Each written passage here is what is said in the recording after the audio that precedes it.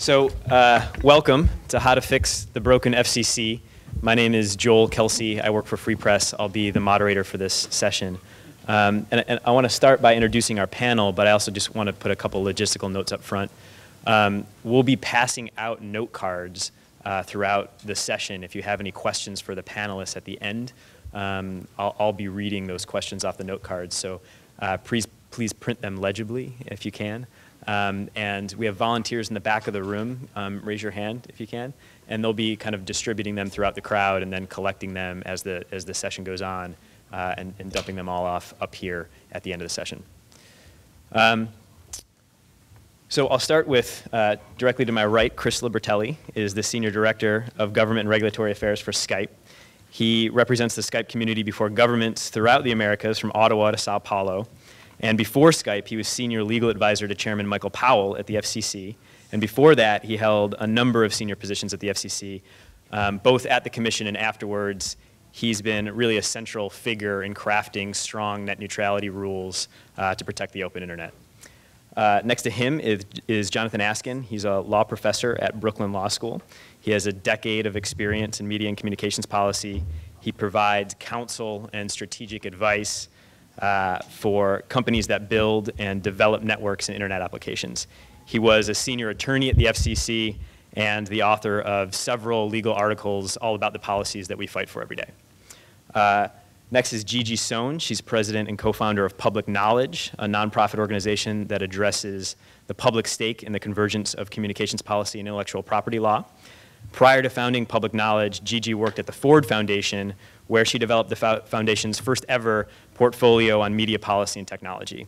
She's had a very long and distinguished career uh, as a public interest advocate in Washington, and she's a real leader and key, key uh, coalition partner. Very old. old and long. Uh, Malkia Cyril is the executive director and founder of the Center for Media Justice. You'll recognize her from last night's plenary. Uh, she has uh, she has 15 years experience as a community organizer and a policy advocate uh, and a communication strategist. She has led local and national campaigns for racial uh, and economic justice. She's authored many essays on movement building. Um, so I, would like to start a little bit. I'm, I'm just going to spend about 10 minutes up front trying to kind of frame the debate a little bit, and then and then we, we don't really have very many formal presentations. We just kind of want to run this as a very informal conversation and, and debate. Um, but I thought it'd be important to put up um, just a couple baseline facts uh, up in front. And, and I'd like to start with a quote. Um, and the quote is from Judge Harold Greene, who delivered the opinion in a case called the United States versus American and Telephone and Telegraph, aka the breakup of Ma Bell in 1984. And when he did this, and, and in order to justify why the breakup was needed, and why a robust regulatory oversight was no longer sufficient, he cites years of FCC indecision. Quote, the commission is not and never has been capable of effective enforcement of laws governing AT&T's behavior. It seems clear that the problems of supervision by a relatively poorly financed, poorly staffed government agency over a gigantic corporation with almost unlimited resources and funds and gifted personnel are no more likely to become to be overcome in the future than they were in the past. And that statement is a bit prophetic for a number of reasons, most directly because of the recent announcement a few short weeks ago that AT&T plans to merge with T-Mobile and put Humpty Dumpty back together again. Um, but but I, I, think that Judge Greene's comment also comes at a time when people, real people, outside of the DC bubble, are starting to wake up and kind of notice these cracks, these fissures in the federal regulatory agencies that are supposed to be protecting us. The Minerals and Mining Services, the entity charged with enforcing safety standards on drilling projects, standards designed to protect the public from things like 180 million barrels of oil being spewed into the Gulf of Mexico. Um, they weren't just asleep at the switch when the, B, when the BP disaster happened. They were literally they had left the switch and they were partying with the oil industry executives that they were charged with regulating. Uh, the, the collapse, literally, yeah. Uh, the collapse of Lehman Brothers and the events that followed that, the largest financial crisis this nation has faced since the Great Depression, it really put a face, I think, on decades long a decades long rise of concentrated financial power in Washington. And it kind of pulled the curtain back a bit on how a few giant banks were able to use their power and prestige to essentially reshape the political landscape against which they're regulated. But the banks are now thriving, the bonuses are up higher than ever, and a very few individuals have been held accountable for their ideology that, that, that really wanted to use and leverage American taxpayers and, and use American taxpayers to socialize all of their financial risk while they privatized all of the financial gain. So um, I, I, say this um, against the backdrop of a few things. This summer, the Federal Communications Commission, we saw uh, use backroom negotiations with a few companies to try to get to a compromise on one of the most important policy promises of the Obama administration. Um, we heard news a few weeks ago that FCC Chairman Michael Powell is taking a multi-million dollar gig with the cable industry that he wants regulated. And, and I don't want to compare those things, but I say this because when you add it all up, I, mean, I think it means that we're really at an important inflection point. Um, when we get back to first principles, the idea, the basic premise that we need a federal agency that oversees communications infrastructure and protects the public, protects consumers, I, I, think that we find the vision that we all share and the policies that we're all fighting for are crashing headfirst into a political and financial juggernaut in Washington. And, and so in the coming years, as, as this movement matures, as our community matures, I, I think that the decisions that we will make, the decisions that will fight, the policies that we fight for will really determine the future of the agency.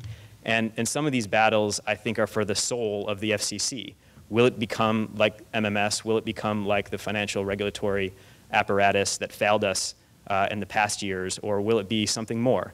Can we get back to the idea of a strong public agency that protects the public interest and creates a more diverse and local media, a more open internet? Um, so we're here to unpack a little bit about what Judge Greene said and wrote about in 1984, and, and to start to think about how we can change this dynamic. And, and to do that, I think we need to kind of really explore corporate influence in Washington. And, and we need to talk a little bit about what people in DC whisper about and what people outside of DC shout about agency capture.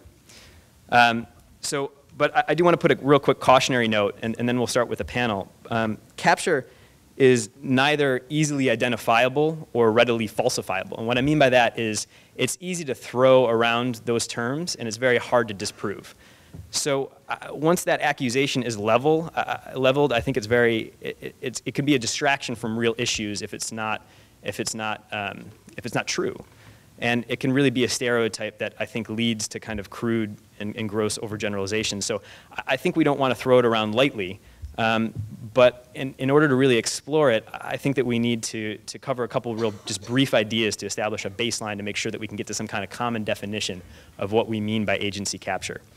Um, so a few, a few quick ideas up front, um, and then I'll sit down and we'll hear from, from the panelists. Um, I think there's two things. One, it's important to note when Congress created the FCC, they had an idea of capture in mind, but it wasn't the same idea of capture that we think about. They, they created an agency where the chairman can only be removed by cause.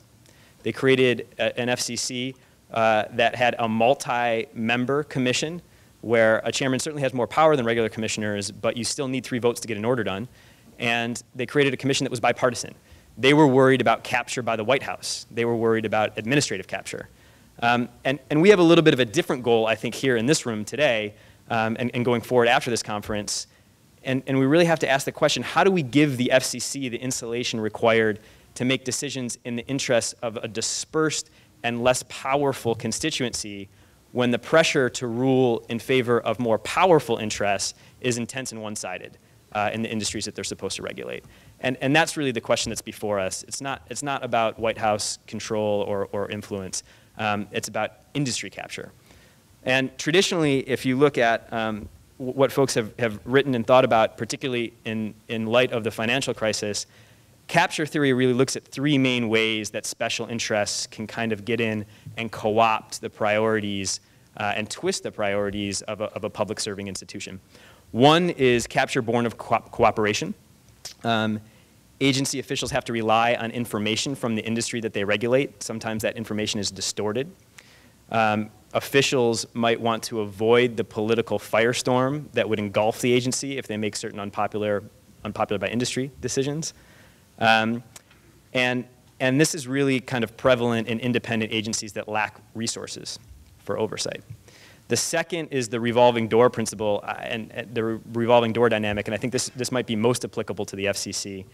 Um, officials and staff either come from the private sector that are supposed to, that, that the agency is tasked with regulating, or they're looking to take a job in it after they leave the agency. So they may be less apt to make hard decisions regulating that agency um, that are unpop- reg regulating that industry if they're unpopular with the industry they're hoping to get a job with. They're a bit reluctant to act. Um, and then the third is comparative overrepresentation, which is a fancy word for saying the industry has more lobbyists, advocates, and PR people than public interest groups do. Um, they, can, they, they really have uh, they're really in a position to monitor what the commission does on a, on a daily basis. Um, they can get into the weeds of that policy. Um, they can distort that policy. They can kind of twist the worldview uh, in some ways of some of the folks that work at the agency. Um, and they can make their influence felt more frequently and more powerfully uh, than, than folks on the other side of, of, of the debate. So um, with those kind of just very baseline things, um, I'm going to I'm gonna kind of turn to the panel. Um, and, and see if we can kind of just explore a little bit about this. I, I want to see a little bit if we can talk about the difference between capture and corruption, um, because I think there is, there is a difference between those two. Um, but, but I'd like to hear what, what you all think. And, and so can, can you kind of give your basic definition of what you think capture means? And can we come to a common definition at all? And, and can we distinguish it from corruption? Or when we say capture, are we just being polite? Uh, Okay, that's a great setup, Joel. Thanks a lot. I appreciate that. I'm going to run through a quick uh, slide deck that tries to respond to Joel's question, obviously from the perspective of somebody who spent time in government and who works for an evil, profit-maximizing Luxembourgish company called Skype. Um, this is a data point that Joel alluded to, and you cannot do any work in this area without relying on data from uh, entities like Free Press and Public Knowledge. It's a good graphic of what we as Skype are up against. There's a, you know, I mean, an army of lobbyists on the other side of this. And if you equate it all down and you look at how we compare, it's two little people against scads of others. These are two slides from a presentation that Professor Lessig did. This is the reason why large US companies spend so much on lobbying. A return on investment of 22,000% for money invested in lobbying. $1 spent uh, for every dollar spent, you can lower your taxes by six to $20. Why wouldn't a company do all the things that Joel mentioned? So our thoughts about capture are that conviction is not capture. The problem at the agency, to our way of thinking, is that it's the old thinking that amounts to capture. It's the cozy relationship between Judge Greene's AT&T and, and the FCC that leads to bad public policy making. At the end of the day, I think we should spend less time talking about process reforms and more time talking about real leadership reforms to lead to a policy that made, that's made by governments and not by lobbyists.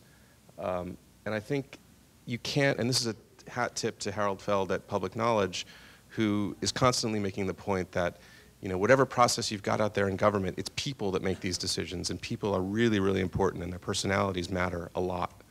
And so it's important to have the people of high integrity in those five jobs. Um, from our perspective, comp a company like Skype is doing internet communications. Old assumptions lead to capture. Old assumptions about the transition from the old world of regulated monopoly to something that's more open, free, and internet enabled, which is on the right side of this graph. And it's our, our fundamental belief, and the reason why we're optimistic about moving past capture is that we, and when I say we, I mean the coalition of entities and companies that are working on things like net neutrality, we will win if we can get to a battle idea of ideas. We will lose if it's about politics and how many members of the Energy and Commerce Committee can write letters to the agency because of all the reasons we say on the bottom of this deck, which is that at the end of this transition toward a more internet and open future is more affordability, choice, and innovation. And I don't know why we have to be put in a posture of apologizing for that transition. We shouldn't be. We should look to our policymakers to support it. Um, there's a good, Joel asked us to think about what are good examples of capture. And the one that I thought about most is this, the, the whole net neutrality debate was about whether it was a part of it was whether you'd fit it, the rules into Title I or Title II of the Act. Title I you can think of as a radically deregulatory approach that was actually started by my old boss, Michael Powell, when I was in government. And the thing that amazes me about this Title I order was, you know, typically you have to lobby for things if you want government to do them, right? That's the way it works in DC. This one, the wireless industry didn't even ask for, and they got. I mean, that, it, it's just astounding to me that, that that kind of, I won't yet call it capture, but just the momentum of deregulation led to something that the wireless industry didn't even ask for. Um, again, we want the agency to be led by people who have a North Star. Someone who, for example, on their first day in office could give a speech to say, I've gotten this cool new job, this is where I want to take the agency, and this is why it's good for America. We don't get enough of that. And in fact, during the last chairman's tenure, I think he gave a speech, and the first line was something like, I am not a visionary, talking about dumbing down success. Um, that's, that's the last point. I want to leave you with a picture, which uh, I think it was Aparna actually sent this one around, which is worth looking at. And it's, oh, it didn't come through. Bummer. It was a picture of the reconstituted Bell system, which I'm going to hand it over to Jonathan and see if I can resurrect that, and I'll put it back on the screen. Thanks. You, you got to show the Colbert reassembly of uh, capital AT&T to lowercase AT&T, right? Uh, so let me tell you all a sad story of temptation and capture. And I'm uh, sorry to report it's my story of temptation and capture. I, I went to the FCC right after passage of the 1996 Telecom Act. Before that, I was a civil rights attorney thinking I was fighting the great issue of the day. Telecom Act passed.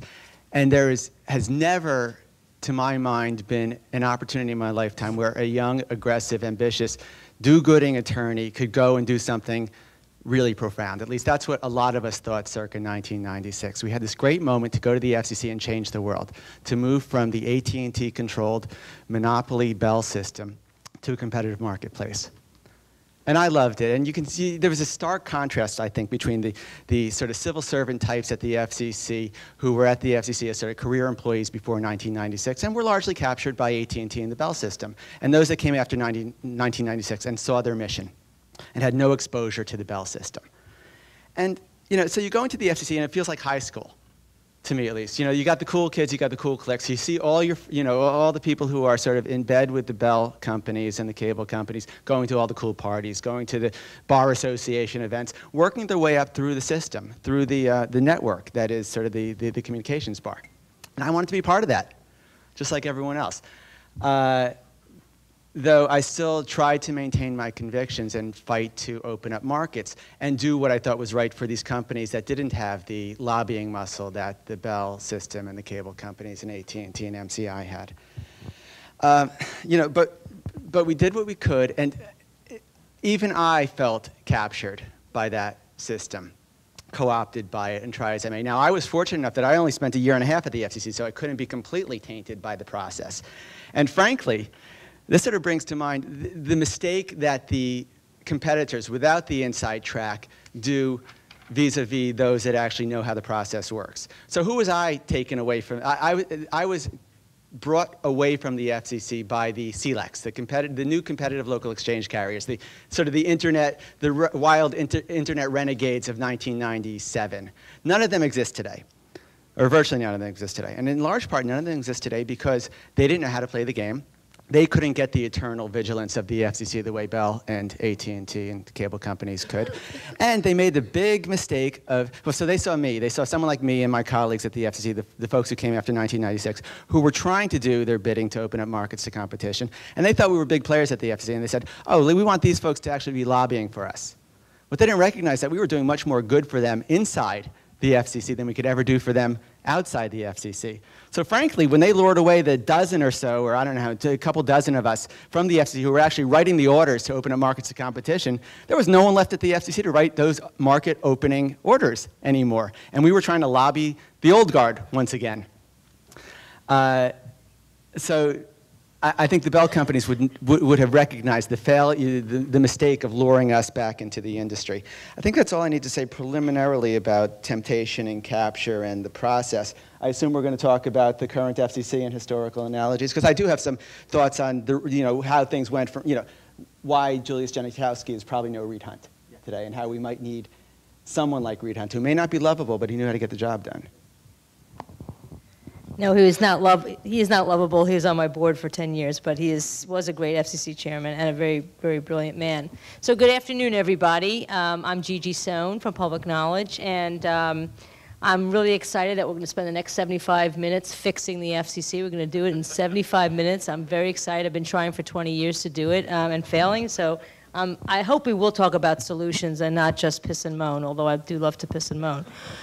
So I vigorously agree with uh, my colleagues to the left here, although I do want to say one thing. I don't think, I don't think this is going to make it a debate, but I think it's important to say that the vast majority of people that work at the FCC are very, very hardworking civil servants and a lot of them will never see, you know, the light of day in a private uh, company or anywhere else. They will work there their entire lives, uh, and you know, our taxpayer dollars are well spent on the vast majority of them. And I will ag vigorously agree with Chris Libertelli that the way you get to a better FCC ultimately is through leadership. And we've not had that, and we certainly don't have it now. And, you know, the saying goes, the apple rots at the top.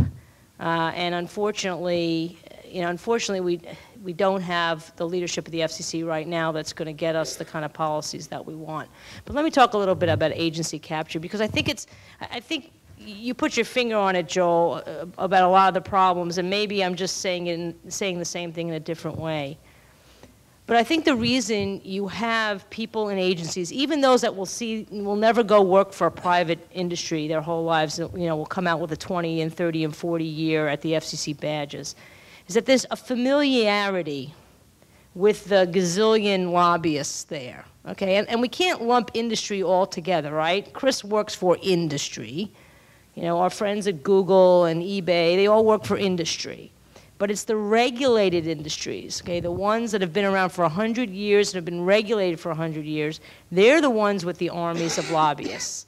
And they build relationships with the folks in the bureaus. Uh, you know, it's, it's not even at the, the top levels, okay? It's the folks in the bureaus, the ones that do the license renewals and the ones that give waivers of the FCC's rules. And, the, you know, the stuff that we don't talk about. It's not net neutrality. It's, it's the less sexy stuff, yet it's still the stuff that makes a difference when, it, when you're talking about ensuring that, you know, broadcasters uh, do their public duty that, that they get their license for, or that, you know, telecommunications providers serve people with reasonable rates. It's the folks in the bureaus, and they, and they form relationships, and they see the same people over and over, and they do go to bar events. I don't mean bar where you drink, I mean, you know, bar where a bunch of lawyers hang out.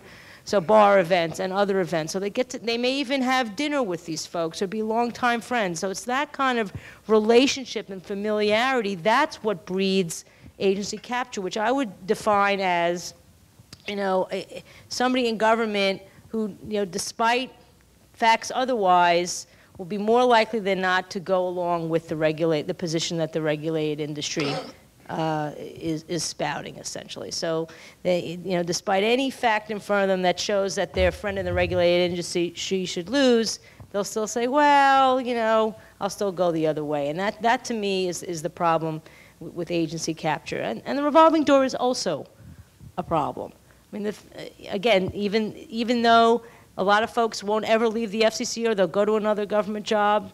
There are folks, uh, particularly in the political areas, those that don't have guaranteed civil service jobs, they're going to be looking to go to industry. You know, they just had a family. They're going to be looking to make a lot of money. And in cases like that, you're going to be disinclined to do something that might upset a future employer. It's, it's absolutely the case, and I think, you know, I think it's worse in the FCC than in other other agencies. The FTC, I think, is a, a better example uh, of an agency that isn't so subject to agency capture, although they don't do the kind of rulemakings and policy that the FCC does. So it's, it's very, very complicated. Uh, I do have some suggestions maybe when we get to the suggestion portion about how we can make things better. But I do think the thing that I'm going to say over and over, almost ad nauseum on this panel, is that leadership is critical, and we have to demand FCC leadership uh, the kind of FCC leadership that we want. You know, people say you get the government you deserve.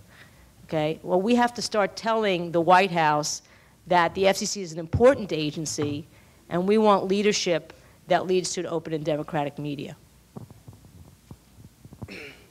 Well, I learned the term industry capture about two weeks ago, and yet I still have thoughts on the matter, interestingly. So um, I'm going to try and offer you, you know, my thoughts as someone who um, goes to the FCC, brings with me uh, comrades and colleagues and community members to talk to the FCC. Let me ask you a question. How many people in this room have ever spoken to an FCC commissioner at the FCC in their office? Raise your hand, please. All right, so it's a good number of people in here. How, how do you think you compare to the general population? Yeah? About the same? I don't think so. Um, for the most part, most people never talk to the FCC. They don't know what the FCC is. Those that acronym doesn't really mean anything, uh, and you know, to them. So I want to talk about something here about the difference between capture and context. So you know, um, capture the way it sounds, right? It sounds like somebody did something to you. You know, slavery. I came and got you from your country and I captured you and I took you. But context assumes that there is actually a systemic problem, a machine that operates on its own, that has its own driving force, and that actually can't be changed simply by shifting the individuals in the circumstance. So I want to suggest that, that we're talking about a, a structural problem, that we're talking about a historic problem, um, that we're talking about uh, a couple things. So let's start there, right? I think that we have a problem of, of, uh, of context and that capture is the result of a set of systems and the result of a machine that is in place. So let me start with that. The second thing is let's talk about the idea that Joel first laid out, cooperation. And I want to throw out another word that may mean something slightly different but is connected to his uh, point called uh, dependency. So I don't think so much that, so we talked about, so you talked about cooperation and how uh, the FCC needs to be able to, needs the cooperation of industry in order to function. I'd like to suggest that because of this, this systemic problems, it actually is dependent upon industry to function in some ways, and that that is different than cooperating with industry. If you depend upon industry for your data, right? And if those are the only places from which you can get the kind of data you need to make certain types of decisions, then the data you get is going to be skewed in the favor of industry. And therefore, you're going to make decisions that favor the industry. So I think, second problem, we have a problem of dependency, not so much a problem of cooperation. Third, if you are a felon, um, in most states in the country, you lose your right to vote. Um, that's a horrible thing, and I think it should be changed. If you steal from a bank, you probably can't go work in a bank. But if you steal from the people of the United States through being, um, you know, through massive profits and lack of not being taxed and all of that, you can certainly go work in the industry that you just were a part of. You can just, you can regulate that industry. Now, I think that this question of capture, right, it's a problem in that, you know, why should people who have committed a crime uh, who are regular human beings, you know, who don't have any money, they there are they there's a systemic or structural barrier from you going to work in that same agency or same you know industry, but if you um, because it is legal essentially to make these billions of dollars and not contribute anything back to the country through taxes and all of that because that is a legal process there's no barrier between you then going to work um, at the fcc from being in telecommunications now i think that that's a problem um, and I think the issue, you know, is about legal versus illegal. The question that you asked, Joel, was the difference between corruption and capture. And I'd say that there's a thin line. Um, it's a very thin line, and it's really a question between what's illegal and what's illegal. What's a what's a legal practice that is um, that's that still causes harm, versus what is an illegal practice that causes harm, but the harm may be the same. It's simply that one is acceptable by law, under the law, and one isn't. And somebody made that decision. Now, for me, I think that there are certain practices um, that result from industry capture that shouldn't be legal, you know, and then it would be corrupt, but that's just me. The last thing I'm going to say is this. On the question of leadership, absolutely. You know, we need better leadership at the FCC. We need leadership that's committed, that has integrity, all that. But I'll say that um, I don't think that the current context could produce such a leader. That's my opinion. I don't believe that the current environment could produce such a head of the FCC. I think, in fact, because you know it's not individual and personal, it's agency-wide and systemic. So there are some changes that have to be made to the mechanics, not just to the people in it. Peace. Thank you.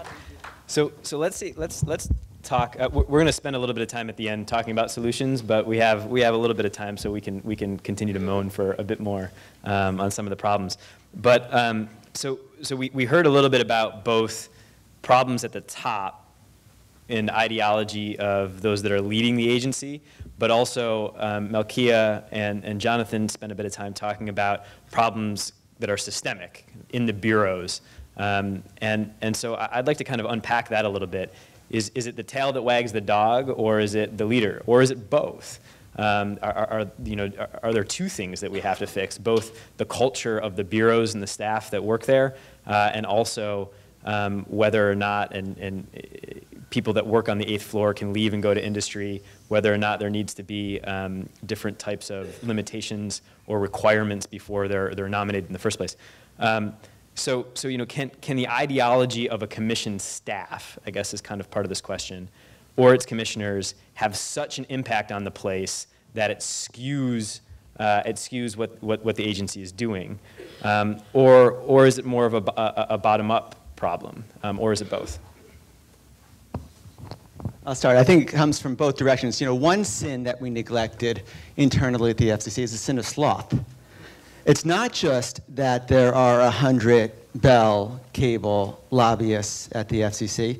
It's that they're actually doing the work for the staff, and the staff is very willing to accept it. The staff doesn't want to work all weekend.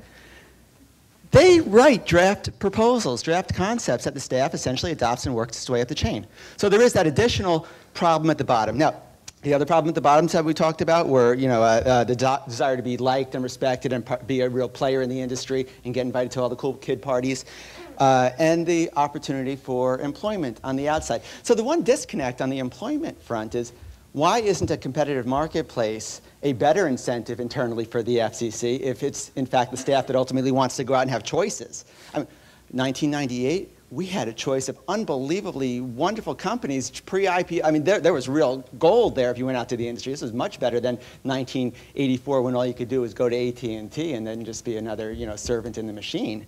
Um, so there's certainly that problem at the bottom with staff trying to either be beloved or employed or you know uh, uh, doing the getting the work done by the industry, and the, the, I mean, but the problem I think is probably even bigger at the top. And the big problem is, and I felt this as an FCC staffer, it's almost impossible to get a real independent champion at the FCC. No one with any courage is ever going to be nominated and ultimately get approved by uh, a Congress that is beholden, that is captive to the industry you've got it, you, you, you vet that pretty carefully too. You know, the same way AT&T probably vetted the fact that they may get the T-Mobile merger approved. You, they vetted Julius and made sure the industry wasn't going to be too upset by his nomination. There were probably a couple other guys there that the industry said no way. And that certainly happened in every single instance of a chair appointment and most of the commissioner appointments before that. Um, so, so, let me throw one more question in as we move down. Can, can it, how much of a missed opportunity are we facing right now? Is, could a reform-minded chairman come in and change the culture of the agency below it?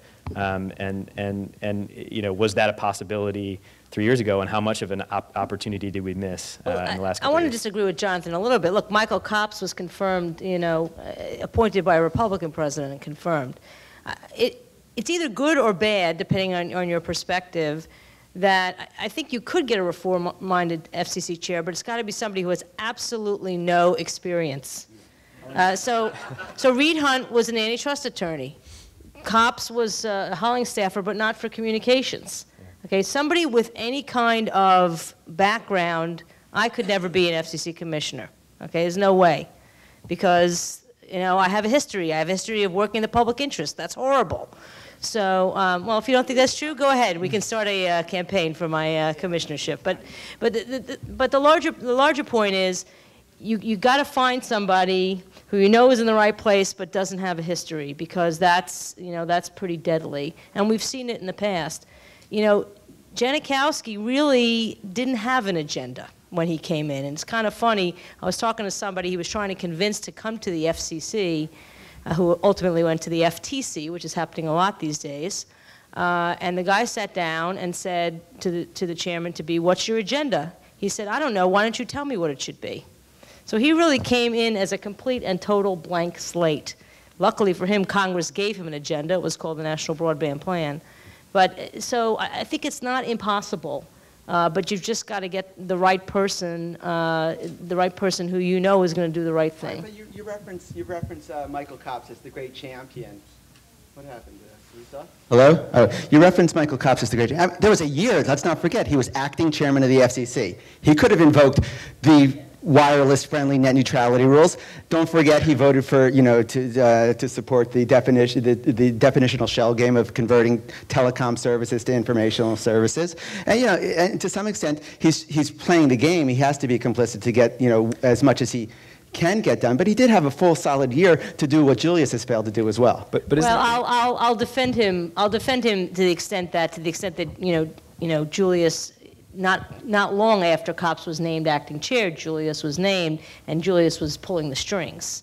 Okay, essentially, and the White House was saying, well, don't do too much. So, I mean, it's not like Copps had free reign as an acting chair to do whatever he wants. And didn't, I mean, you know, some, some of, um, you know, all of your histories go way back further than mine, much, much further than at the FCC, way but. But, but I mean, didn't, didn't, some of, didn't some of the good commissioners, I mean, isn't, isn't the part of the difference between when they started and when they started doing good, um, the, the impact of people coming in and saying, we need you to do X, we have your back, we know that there's powerful interests you know, lined up on the other side, but here's not just a small community, uh, you know, a narrow constituency of people that need you to do something against them, but it's a united coalition of folks. Um, you know, uh, Chris, can you talk a little bit about what it was like at the FCC and if that had any impact um, when folks would come in in a united coalition that was at least politically inconvenient to cross to say, we need you to not to do this deregulatory policy. Um, and, and Malkia, I don't know if you can talk a little bit about what, it, you know, what it's like bringing that outside uh, constituency into the FCC um, to, to have that conversation with the folks that are there and some of the obstacles that you face. Okay. So I'll make two points about that, Joel, because I think it's so one is directly responsive to the idea that somebody could come in and change the culture and actually move a reform agenda, and the second is about the notion of a consumer advocate being a commissioner. If you look institutionally at the 50 state public utility commissions, it's very common for them to appoint a commissioner to be a consumer advocate. And while, yes, you've done an amazing amount of work and have lots of positions that would piss people off on different sides of the industry, why can't we have some political space for the idea of a commissioner who has as his or her only focus the uh, protecting you know against higher rates or uh, less affordable broadband for example i mean you, there, there is some institutional evidence for that and it happens at the states the, the, the first point though is really i mean the, the problem with the agency is that if you're a deregulator right and say you come in and you do charter the agency on a new course right you can essentially deregulate the markets without much involvement at all from the staff. And in fact, that's what happened when certain chairs were in, in power over there. So you, it's much easier to break a window than to build one. And if your agenda and if your energy and your ideology is all about sort of a radical deregulatory approach, then you don't essentially need the staff, right? You can do it with a handful of people. There's this joke at the agency that like 2% of the agency can run the whole place. The other 98% of the people are just sort of friction. And, and I think the problem with the new, with, with the reform agenda is that it's just institutionally much harder because you got to get all those people working in the right direction because you're essentially building up a new framework. And, and that's why I think leadership is the answer. Leadership, intellectual leadership, right?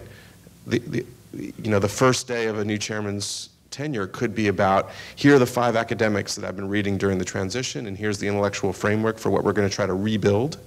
And here are the four bureau chiefs that we're going to charter to do the following four things by the following, you know, time frame. That could happen. That's the missed opportunity. And I can't imagine a better set of political circumstances that existed two years ago. I mean, I hope it comes back again, and maybe we'll learn our lesson. But um, I think it's possible. It's just a much more difficult task than the deregulatory impulses of the uh, 2000 to 2005 area. Well, you know, I, I think leadership is important. I do. And I think that um, should circumstances allow for that type of leadership to emerge, um, I think that, that it would still matter a great deal what the public did um, and how the public reacted and acted in relationship to that leader. So one of the things that we we've done is we've brought together um, organizers, excuse me, and community advocates from all over the country, and we've brought them to the FCC to um, speak with both the chairman, um, the staffers at the chairman's office, with Commissioner Clyburn, Commissioner Copps, all the Democratic commissioners. And uh, one of the things that I've learned through that process is I've learned a couple things. One is um, for all of AT&T's and Comcast and you know Verizon's lobbyists and everything that they're bringing about the economic impacts and the you know all, of the messaging around oh this you know if you you know if you make the net neutral it's gonna it's a really a broadband tax and you know whatever whatever they bring whatever data whatever information they bring um, tell three stories from real people on the ground in their own words. And I'm not saying that it balances the scale. What I am saying is that it has weight that you would not imagine. So all of the data, you know, um, because the data is in constant dispute. Is it industry data? Is it real? You know, who, who says it's real? We don't know. But the voice of, of individuals who are affected, that cannot be disputed. It's, it's there, you know, period.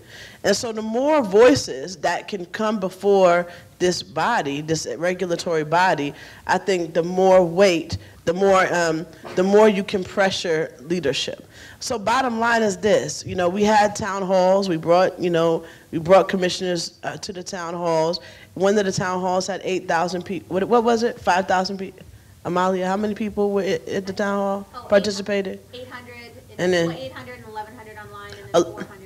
yeah, okay. So it was uh, altogether about 5,000 people that engaged in these two town halls. And, you know, that's relatively small. I mean, that's not a lot of people. But guess what? Each of these town halls made national news.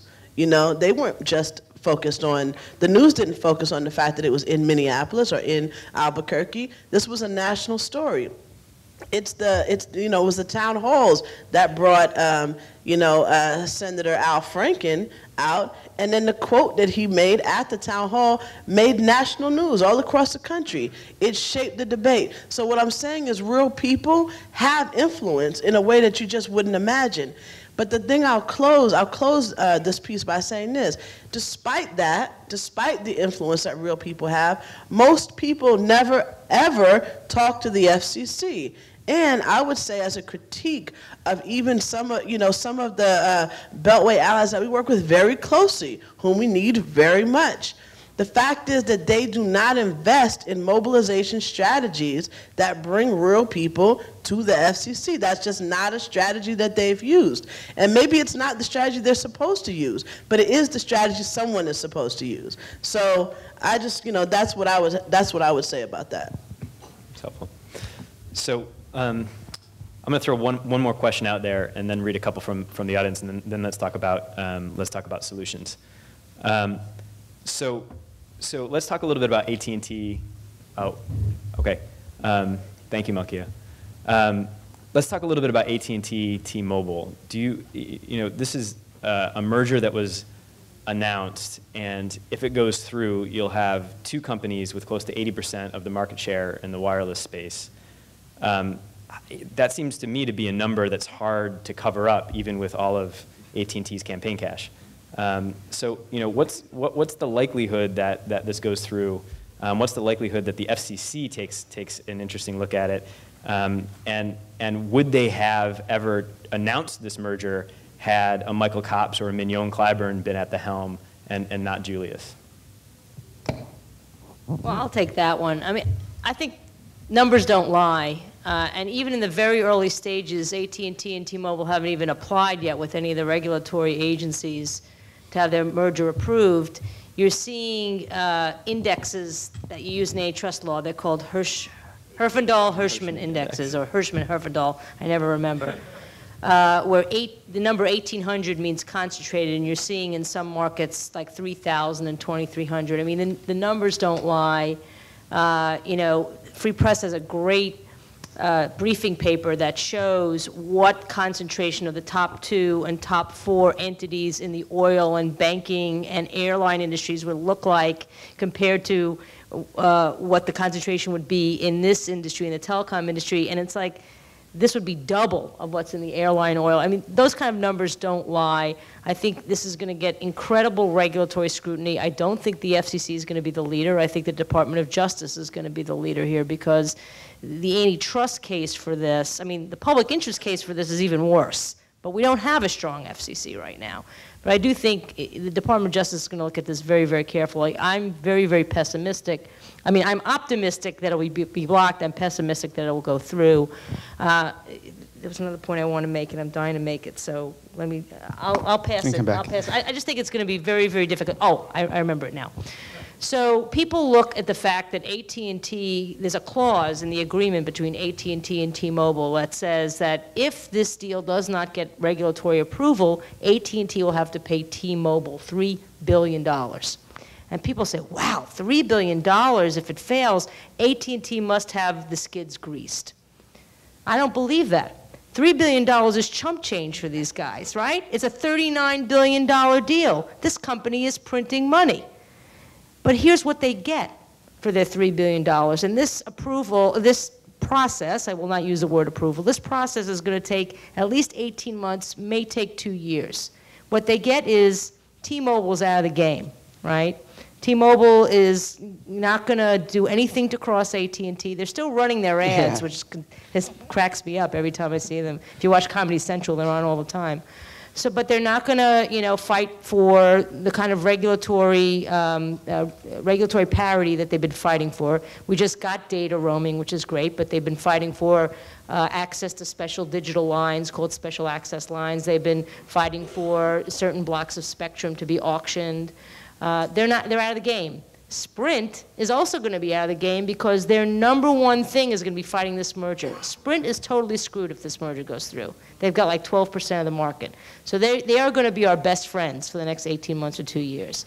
So you have totally demolished your competitor's uh, regulatory agenda for 18 months to two years. Is that worth $3 billion?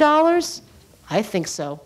So the good news is that unlike the Comcast-NBC merger, which almost from the get-go was viewed as an inevitability, you're not seeing that here. The, the, the Economist came out against it. The New York Times said, boy, really high hurdle. LA Times said the same. I expect the Washington Post to say uh, the same. We had a very good meeting with their editorial board. So, and, and members of Congress are not coming out of the woodwork saying this is good.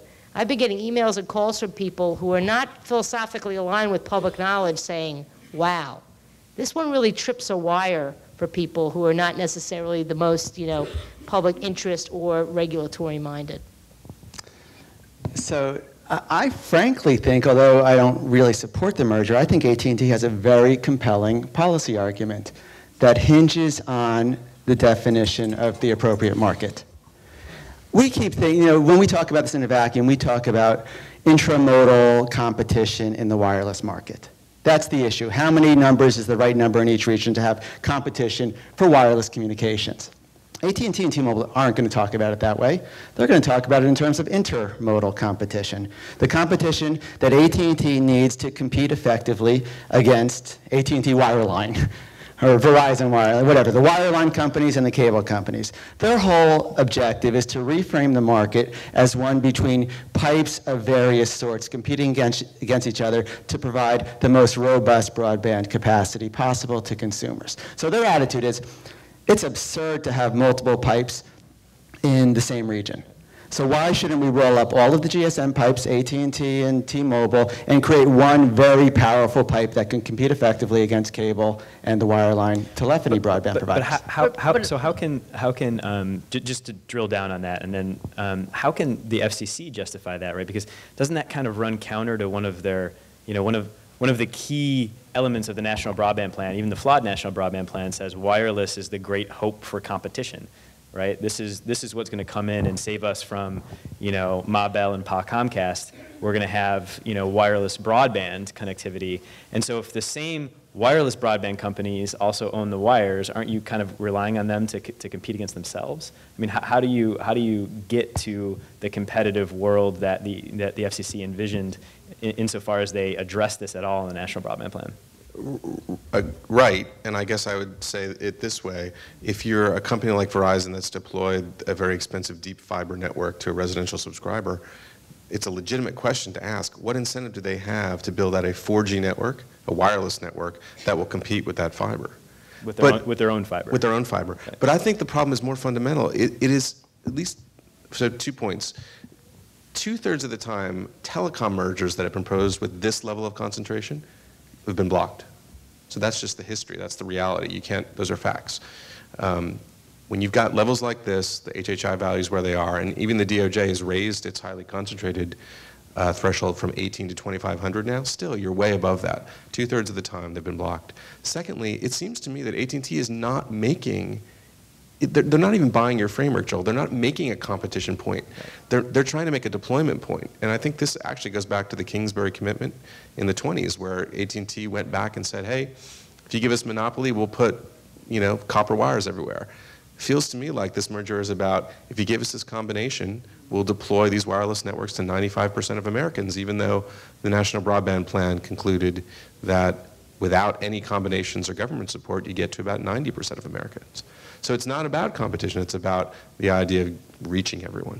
Yeah, I agree with Chris, and I think it's critically important for people to realize that, that the public interest benefits that AT&T are proposing can all happen without them taking out a low-cost competitor. So they're promising a better network, right, fewer drop calls, invest money in your network, build out the, the spectrum you're sitting on, and they're still sitting on a lot of spectrum from that fancy, you know, broadcast uh, spectrum auction, the 700 megahertz auction from a couple of years ago.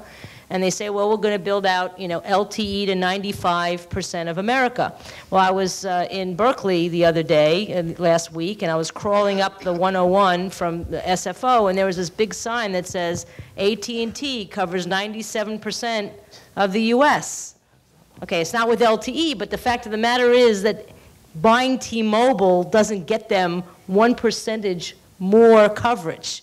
So all they need to do is build out their LTE, you know, build out their networks and upgrade their networks, and we get there with all that copious cash that they've got uh, in their bank accounts. So, uh, you know, there's there's really no public interest justification be that as it may, I think this gets won on the antitrust grounds, on the market share, on the HHIs, uh, and, you know, it's just the enormous concentration in this industry. So, you know, in the absence of anyone here speaking on behalf of any of the carriers, I'd like to do it just for a second again. And, and- try it out. and- and look, I've never done this. I spent my whole life fighting those bastards.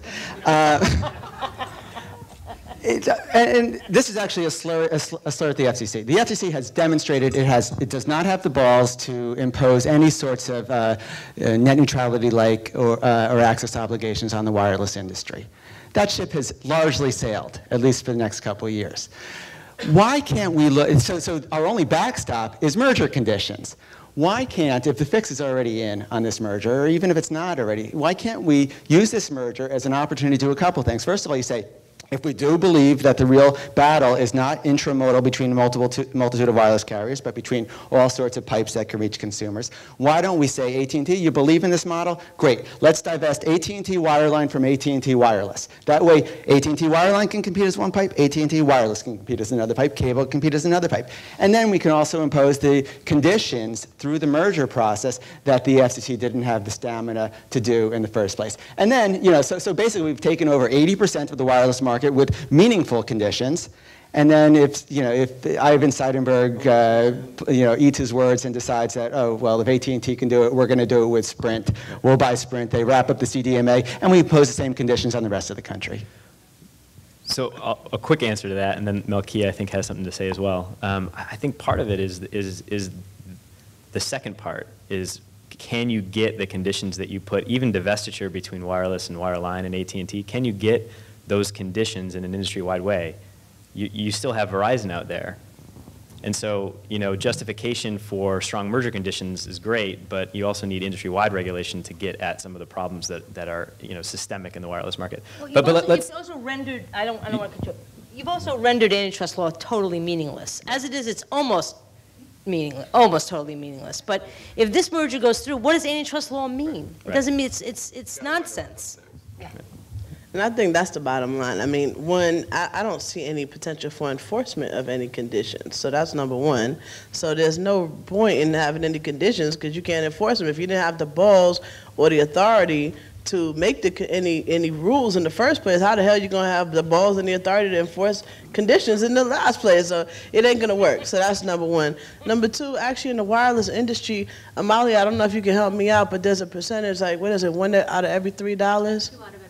Two out of every three. dollars in the wireless industry is made on the backs of people of color. It's made from the usage, uh, wireless usage of people of color. So what I'm, what you know, I don't want my community. We are already um, over are overtaxed. We are already um, two out of uh, every three. Say again. Underpaid, we overtaxed, we underpaid, uh, and we, you know, we do not get the services and the, the get back out of taxes that we're supposed to get in the first place. And now on top of that, two out of every three of our wireless dollars are being used by, you know, getting by, by the industry, you know what I'm saying, from us. And then on top of that, now you're telling me that we're gonna have a merger that's gonna raise costs, lower to reduce choices, and that somehow, because, the, you know, AT&T want to compete against itself, that somehow there's some type of answer out there that makes sense. Now that there, there ain't nothing about that that makes sense to me, right? And I'm a regular, everyday, average person, and uh, you know, so what I think needs to happen as a regular, everyday, average person is that I think that regular, average, everyday people who use wireless technologies need to have a regular, average, everyday conversation with the Department of Justice directly. I think that people, everyday people, need to actually turn their attention from the FCC for a second and to the Department of Justice now and let them know very clearly, you know, um, what, what what we need out of this uh, out of this thing. Because the FCC in my opinion they're not they're not taking action on it. They're not doing anything about it. Now it's in the Department of Justice's hands and I know that they have their formulas and their metrics but at the same time they also respond to the public as well. So I'm to I'm to bring it and steer it a little bit back towards the FCC, which is which is I think a good, an interesting piece because we're talking about the FCC is too broken to oversee a merger between basically and, and, and wh- which will result in basically a duopoly marketplace. Um, and so bringing it out of the weeds and back to the broken FCC that can't review this merger, let's talk a little bit about solutions. And, and there's a couple cards up here from folks that, that, that actually um, I, I- I think can inform this because there's a lot of passion up here about AT&T T-Mobile, which is kind of interesting. You kind of see, you know, a, populist message. You see an innovative software company. You see, um, you know, a public interest advocate from DC, a legal scholar, all saying this seems a little nuts. Um, so, so it seems like if we have the populist movement, um, which a lot of folks are actually asking about, how can we get a populist movement to reform the FCC to keep commissioners honest? Um, through, you know, does building a public record help? Does going to see the commissioners help? If we can do that, which we've done in the past, it sounds like we need also to think about long-term strategy, not just in the light of this merger, but the next merger and the next big fight. How do we think about some structural reforms at the FCC that change that dynamic of capture at the leadership level and the bureau level um, in, in, some ways. And so I want to kind of explore a little bit, maybe some solutions as well. Um, can, you know, one of the things that everybody talked about was the revolving door and the fact that whether it's chairman or commissioners, whether it's staff, they either come from the private industry that the FCC is charged with regulating or they're hoping to take a job with them afterwards. So, uh, I mean, you know, there's revolving door policies out there. Um, the White House, for example, says you can't come back and lobby us or talk to us about policy at, for five years after you leave the White House. Um, a number of other federal regulatory agencies do the same thing. There's also, and this is revolutionary, not really, um, but there's also um, industry, uh, federal regulators out there, the SEC, the Federal Board of Governors, the Farm Credit Administration, and they require any appointed officials to make a commitment up front that they won't go to work for the industry that they regulate for a period of years after they leave public service. Um, are those things that can help? Can we get that done? Um, is it even feasible to, to think about that, on, to, to, think about using that as a, you know, a strategy to, to help fix the broken FCC so that the next AT&T T-Mobile merger, if we're able to use the DOJ to stop this one, um, that we can rely again on, an, on, an, on a, an, an agency whose mission isn't just protecting competitors and competition, but actually is the public interest, which is very different than, than what the DOJ does.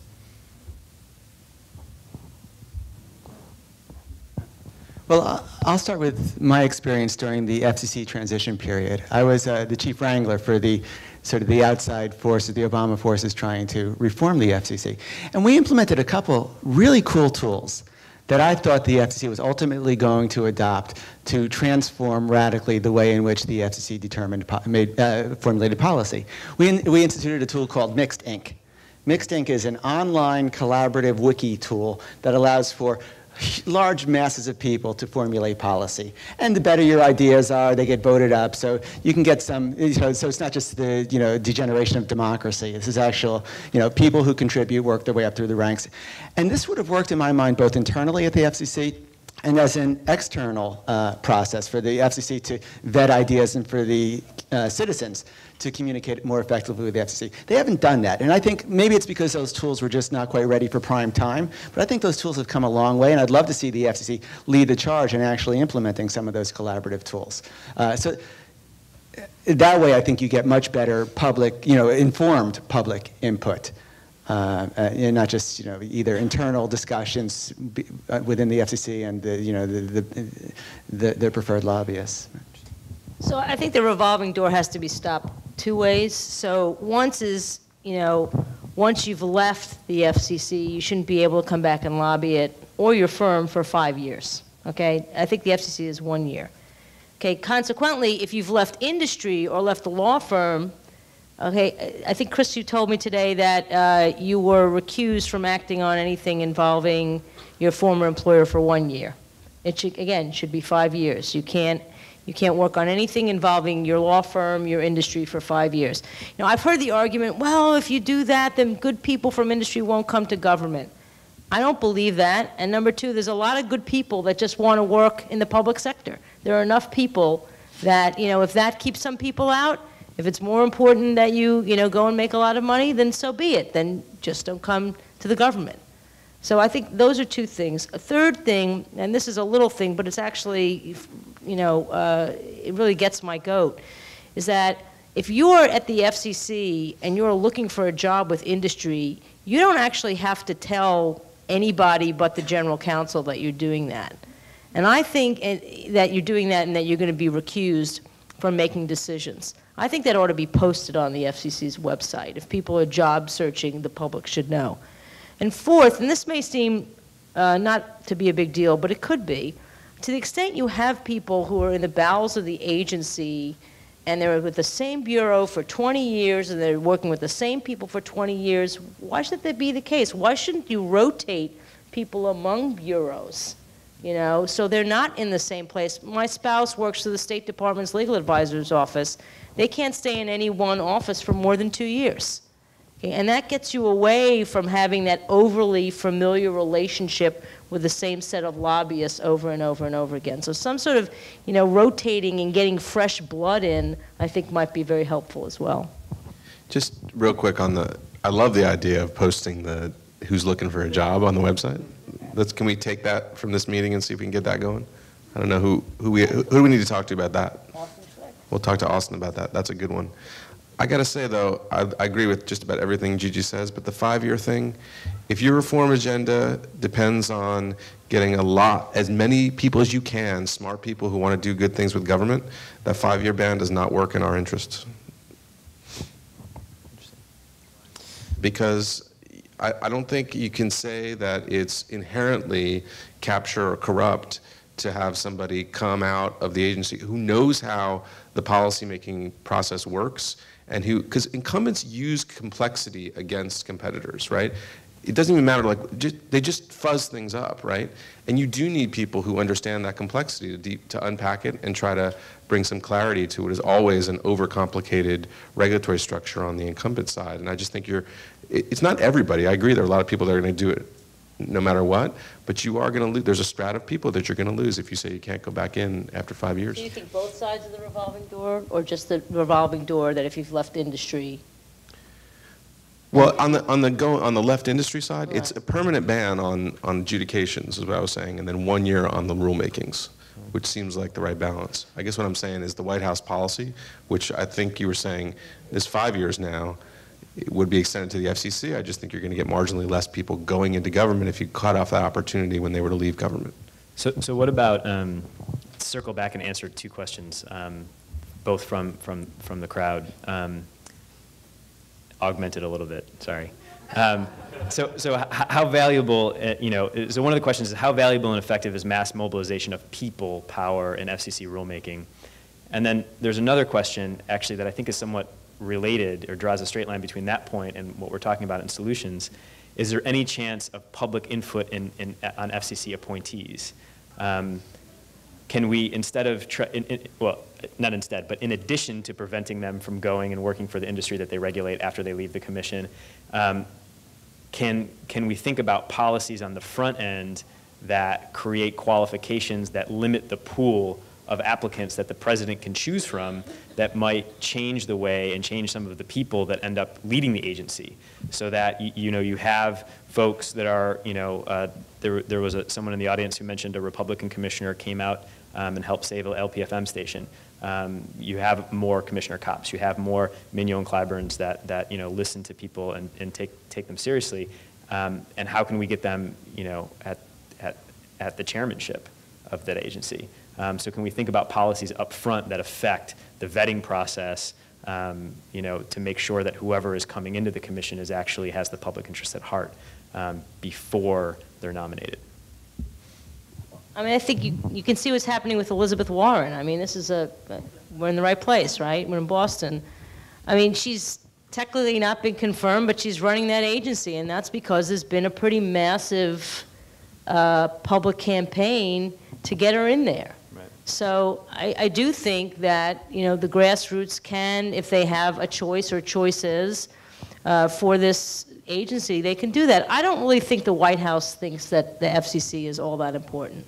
For all their talk about innovation and you know technology and, and open data and blah blah blah, I don't really think that it, it doesn't rank up there with maybe the EPA or the Department of Education or some of the other cabinet level things. And I, and I think it, you're going to need to have a movement telling whoever the president is, yes, this is an important agency, and we really, really need a consumer-focused person.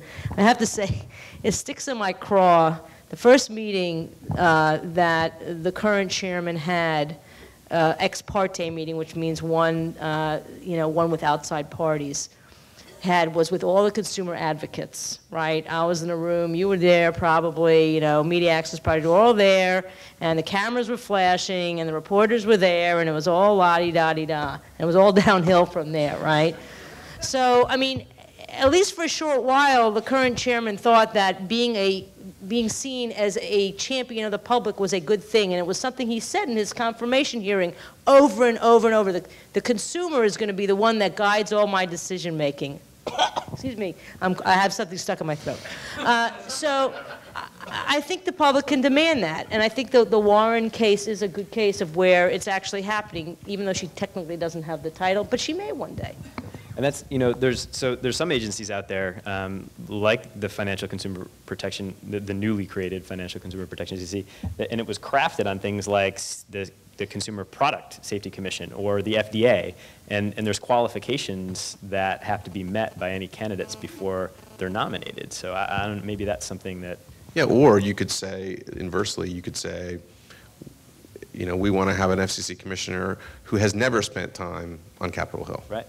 Because that's the place where capture, I think, is actually the greatest, to get back to the theme of the, of the uh, panel. I mean, we talk about, I mean, industry, the incumbent industry, the regulated industry uses Congress to capture the agency more than they do it directly. And to the extent people come from the committees or work for members of Congress who then get their person on the commission, that's sort of like the standard way it gets done in DC. That's an institutional problem.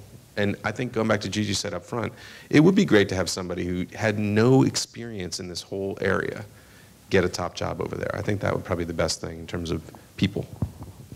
So here's the thought, and this is because we've got political capture, and, and I, I think it's true. They, they, I think there are competitor pressures from both the White House and from Congress on the FCC.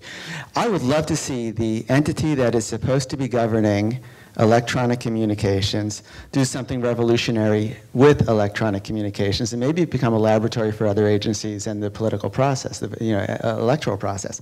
Why don't we have, this would require a statutory amendment to the FCC's rules, but um, uh, why don't we have two commissioners allowed to be from one party, two commissioners from another party, and the fifth commissioner somehow voted using new media tools, using some sort of online electronic voting process. I don't know if that can work or not, but a two-year trial period where we'd have that fifth commissioner who was not beholden to any party, but simply beholden to the people might be an interesting step in the right direction. So I want to, um, you know, I think there's a lot of ideas about protocols and um, and, uh, and and new rules and and and different systemic changes that can be made. I, I think those are great ideas. I don't know anything about them, um, but I like them. I like the way they sound. Um, what, what I what I what I can offer is like uh, something about the popular you know movement question, and you know the question that was raised: it doesn't really work to you know basically build the movement to pressure a government agency. Well, I, can, I mean, yes, you know, yes, it works. Uh, let me talk though a little bit more concretely about about what I think about that. One, um, if you have, I think what is it? Last year, Free Press got what was it? Two million you know, signatures on a petition. And yesterday, the um, and that was a petition for net neutrality. It's two million people. Yesterday, you know, the House voted down. You know, um, voted to to whatever I don't know. Voted voted down to reverse net neutrality. Right. So the question is, you know, two million people spoke. They said they wanted net neutrality, and yesterday the House voted to say no. So, um, you know, having two million people on a piece of paper may not be, is not what I mean when I say a mass mobilization or, or movement strategy. So I want to distinguish between mass petitions versus mass movements. I think those are two different things. So if, I think, though, that if you can have constituencies from a variety of sectors being able to uh, leverage their voice, their story, their, you know, their, their comments, then you begin to have resonance across different regions, across different areas of work or areas of interest. And that resonance and those themes, I think, become more powerful than 2 million signatures on a petition. So that's number one. Number two, even if you do that, if you have no resonance in public debate, I don't think it goes anywhere. So if we, for example, at the Media Action Grassroots Network and, and the Center for Media Justice, if we just go meet with commissioners, but that meeting does not echo out into the media, then it's almost as if we did not meet with them, in my opinion. They may have listened to us and given us their time, and we'd be grateful for that, but there has to be a corollary conversation happening in the news. And so as a result, you know, we, we you know, that was when I got my little blog on the Huffington Post and tried to you know, even even though they got bought out, and you know, we'll, we'll talk about that. At an, is that another panel? But the bottom line is that it, there had to be another conversation that was happening in the news, right? And so that was number two. There had to be public debate. Number three, I think it actually matters that additional public agencies bear come bring themselves to bear on the FCC. I actually think it matters that the Department of Education, um, that the constituencies go to the P Department of Education and say, what is your broadband plan? How will you deal with this question of the, the next generation of students and, and making sure they have the kind of digital education they need to be 21st century participants? And I think we need to go to the Department of Education, I mean, excuse me, Department of Health and Human Services, and ask the same questions, and the Department of Labor, because then if there was actually some resonance across across those other public agencies, and those agencies actually brought their weight to bear on the FCC, I think you'd see something different. Um, and right now, I don't see cross-agency that kind of cross-agency engagement at that level. I don't think it happens very much. And then lastly, um, you know, you have to deal with Congress. I mean, Congress the weight that Congress has and the, the leverage that Congress has over the FCC is tremendous. And I think so when you think about public strategies, if you only think petitions and you don't think public debate and you don't think public agencies and you don't think public officials, your, your, your strategy is, is, is lacking. So let's drill down on Congress actually a little bit. How much um, if we were able to bring all those people to bear, if we're able to do all of those things, if we're able to change the way that both commissioners are brought to the, the agency and also limit where they're able to go afterwards, um, does it matter? Or do we still have to focus on Congress? Um, you know, I, I, think a lot of us, when we do the Monday morning quarterbacking of the net neutrality order, look at the letter signed by 76 Democrats that went to, to, to Chairman Genachowski. And that was a key turning point in, in the fight for net neutrality. Um, and that was a key turning point from the then candidate Obama's promise to, to where we actually ended up. Um, so, so how much focus should the people that are mobilized spend um, you know, really concentrating on Congress and making sure that, that that number is much, much less than 76? I just want to disagree ever so slightly with Malkia because she is wise. Um, and that is, this FCC chairman in particular is freaked out about Congress in a way that I've never seen in 20 plus years of doing that, okay? Kevin Martin had, you know, uh, the wrath of many members of his own party upon him when he was doing things to folks in the cable industry that they didn't like. He just went ahead and did it.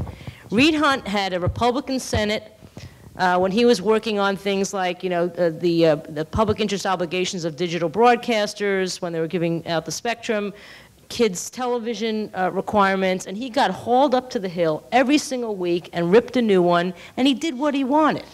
Okay, so I'm not going. To. I'm not here to tell you we shouldn't focus on Congress, but it gets back to the leadership point. The FCC still is an independent agency. You know, the Congress can pass a law overturning what the FCC does, let them try, okay? Yeah, they, they won yesterday, but the, the president's threatened to veto. They got six Democrats on, so they don't have the two thirds. It's damn hard to overturn what an agency does.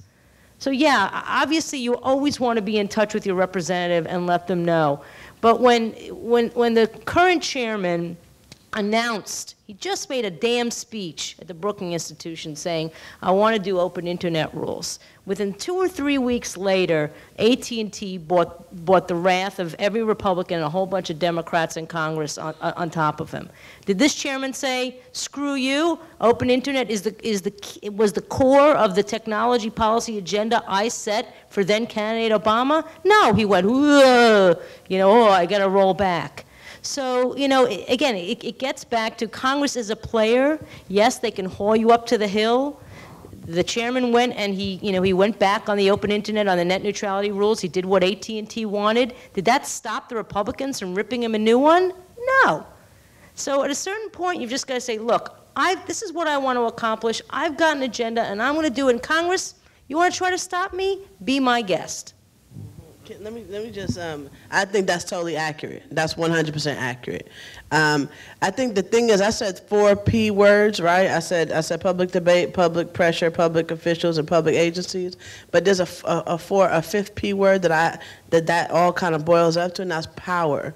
The bottom line is where, what is your power analysis, right? Where do you see power in the in the con- under the conditions you're in. So in a different FCC, that may not be the case, but in this FCC, it is the case, right? So it's the point of what is your power analysis, one, and two, whether or not Congress um, will actually make a law that undoes the regulation of rules that have been put forward by the FCC. They do have control over the budget of the FCC, and I think that that is something to be noted. We did do questions. So we're gonna, we're gonna actually, I think, give a couple, we did a few edited questions. Um, so We're gonna give a couple minutes um, to just wrap up, though, I think, and do a couple final thoughts. One, um, there's, there's a couple, there's a couple themes that have come out of the panel. Um, One is that, uh, that people matter, um, and, and that, you know, commissioners, it, it really matters who's at charge, who's at the helm of the agency. And, you know, the, the difference between a Michael Copps or a Julius Genachowski or uh, a Kevin Martin who's able to just execute an agenda because they have a North Star, they have something they believe in, they have a policy that they care about, they have an agenda that they want to impact, and they feel like they have people behind them.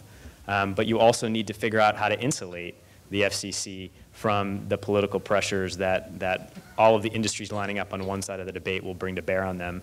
Um, and, and lastly, you need people and not just petitions um, uh, that actually will come in and, and show up when, when it matters. Um, but, but it seems like those are kind of the themes. I'd, I'd like to turn it over to the panel just to see if you, you all have any final thoughts um, before, before we end uh, on, on other things we can do. Maybe I can make my final thoughts relate to something in there. Which, these, these are this. yeah. Sure. Do you have a question? Did you have a question? One thing Malkia didn't say, and, and, and actually, in, in terms of looking back at the history, the one successful thing we've had is low-power television. And I recall standing in front of the SBC, Malkia, who's been in the office, I wasn't in the office, I was out in front with an angel costume. And we were there singing and carrying on because uh, Powell had said that he didn't see the angels of the public interest. And it just seemed to me that that, that, that ignited the fact that we, it, it wasn't that many people, but that creativity, that energy really did get, capture the imagination and help to push, I don't know, Petrie was here, I don't know where he is now, but it, it's, you know, that, I think we have to be more creative and put on our angel costume. Right. Creative tactics. It- I mean, don't you think, I mean, not. I think Michael Powell may have been the best thing to happen to the media reform effort in a way. Say, say the- Say it again. I'm saying he caused this, th- that, that comment ignited this backlash in a way. So he was, in some sense, an inciting factor for the whole movement to overturn the rule. And tactics matter, yeah. Did did you want me to answer that? Well, yeah, like, wh- what can we do on the street? I mean, all any type of uh, I think public pressure strategy has to have a public demonstration strategy and direct action strategy. This sector is a little bit allergic to direct action, a lot because so much of their work happens in D.C. and I understand that. Part of what I think our job is, though, in states and cities and you know in, in places all around the country, and in D.C. itself is that we can bring the kind of tactics that we've used in other sectors and other on other issues to bear on this issue. One, two. I think that it, you know, I think sometimes, uh, and I'm just going to be straight up. I think that we misunderstand the difference between a target and an opponent. You know, sometimes the FCC is our target, but our opponents, the ones that are getting in the way, are actually somebody else. They're corporations. And we tend to not direct our direct action against them. and so I want to suggest that, uh, you know, as a public official, as a public agency, sometimes direct action will not be the right strategy to use at the FCC. Sometimes it may be, but I think it all depends on your power analysis. But either way, direct action is a great tactic and should be used in this struggle. That might be a good note to, No, Go ahead. I- and- that might be a good note to end on. Yeah, let- do you have any final comments? Well, the only thing I was going to add is, look, there's an inside game and an outside game, and they're both very, very important. And I, and I take your point about, you know, bringing folks from the hustings into Washington and talking to, to leaders and making it, you know, part of our strategy. But I'm, I'm going to say something that I've been saying for 22 years, with what army and with what resources? You know, I mean, it, With the two million Yeah, I mean- signatures that Free Press has, get one percent of them to march down 12th Street. so- Get, get 12 of them to, to, um, uh, handcuff themselves to the front door of the FCC. Obama paid attention when Dan Choi handcuffed himself to the White House fence. Why isn't Obama paying attention to network neutrality? Gee, I give up. I hear people that need to come to Washington and start and, and, and, and help, yeah. You don't think I've been in Washington? No, I think you do, yeah. Right, but when you, but when, when if Chris puts his, uh, his first uh, slide back on, okay, that, that looks like people, but it really is his dollar signs, okay? And this is not a plea to make a contribution to public knowledge, although if you feel like it, that's great. Uh, or to CMJ, okay, but with what army? You know, if, if I, if I, I could spend the next hour and a half telling you every single thing that our groups are working on, and that's in addition to net neutrality and the AT&T T-Mobile thing, with what army? And then that's, that's what I'm going to leave you with today. Thank you to all of our panelists. Thank you all for coming. And we look forward to continuing the debate.